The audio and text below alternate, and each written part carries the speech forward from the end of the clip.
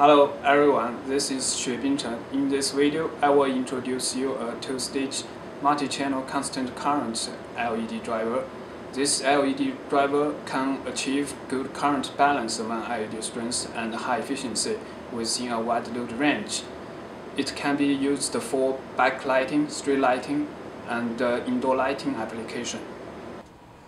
Here is the power architecture of this two-stage LED driver. The first stage is a buck converter and the second stage is a CLL resonant converter. The current of one specific LED string is sensed for feedback control to tune the bus voltage. For CLL, it is unregulated and always working around the resonant frequency point to achieve best efficiency. As the dimming signal changes or the LED number changes, the bus voltage will be adjusted accordingly. In addition, for this two-stage LED driver, each transform module drive, drives two LED strings at the same time.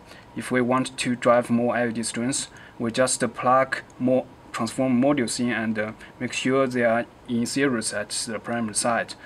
The structure of this two-stage LED driver is very simple and it is flexible to meet the load variation. For the conventional LLC resonant converter, there are three resonant elements, LR, CR, and LM. When we look at the voltage gain of LLC, it can be divided into two operation zones by the dashed line. On the left-hand side of the dashed line, it is ZCS zone for Q1 and Q2. On the right-hand side, it is ZVS zone for Q1 and Q2. When LLC is working around the resonant frequency, the secondary side rectifiers D1 and D2 can achieve ZCS. The primary side switches Q1 and Q2 can achieve ZVS. For CLL, there are also three resonant elements, CR, LR1, and LR2. Since the magnetizing induct inductance of the transformer could be as large as possible, its impact is ignored. The voltage gain characteristics of CL is very similar to LLC's when it is working around the resonant frequency. D1 and D2 can achieve ZCS. Q1 and Q2 can achieve ZVS as well. There are three major differences between LC and CL. First of all, the voltage gain of LC is equal to 1 when it is working at the resonant frequency point. However, the voltage gain of CL is greater than 1 at that point. Secondly, for CLL, during the dead time, the current flowing through LR1 instead of the magnetizing inductance is used used for charging and discharging the junction caps of Q1 and Q2 to help them to achieve the ZVS. For this two-stage LED driver, the output currents of two LED strings driven by the same transformer are balanced by the DC block capacitor for each transformer, the current flowing through the primary side windings is the same. As a result, the current flowing through the secondary side windings are almost the same. So the current of each uh, LED string can be balanced very well. Let me show you two examples. One is under uh, the balanced load condition. There are 10 LED strings and each string has 28 LEDs. From 5% dimming to full load condition, the current variation among these LED strings is about 4 to 5 milliamperes. When we look at the waveforms for the output currents of three LED strings, they are almost the same. The other example is under the balanced load condition. The LED number of each string varies from 10 to 28. Even though the load variation is very huge, the current variation among this LED strings is about 4 to 8 milliamperes, so the current balance ca capability of this two-stage LED driver is very good. For CL resonant converter, ZVS of Q1 and Q2 is very critical to achieve high efficiency.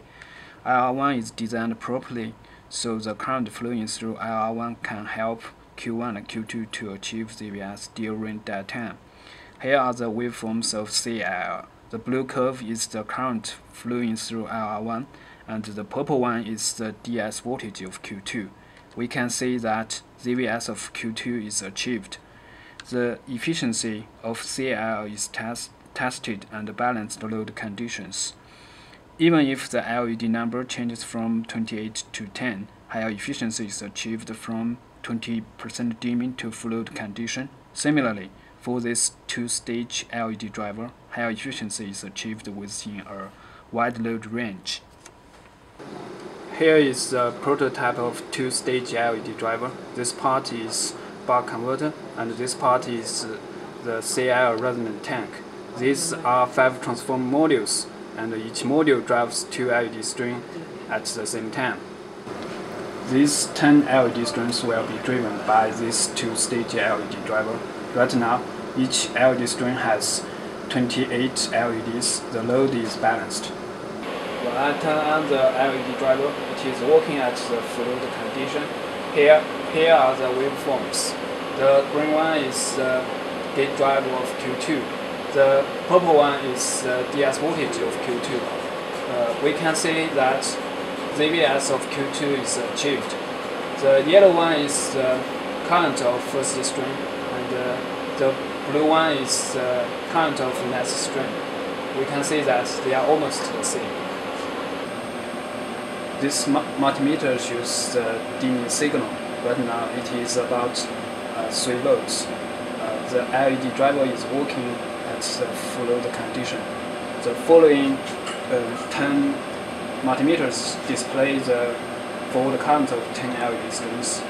The maxim, maximum current uh, is 302 milliamperes. The mi minimum current is 299 milliamperes. The current variation is about 3 milliamperes. Now we change to unbalanced load condition. There are 10 LED strings the LED number of each string varies from 10 to 28. When I turn the LED driver, it is working at the full the condition. The forward current of 10 LED strings vary from uh, 302 milliamperes to 296 milliamperes.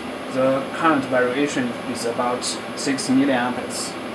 This is all about this two-stage LED driver. If you are interested in it, please feel free to contact me and we can have a discussion. Thank you. Bye bye.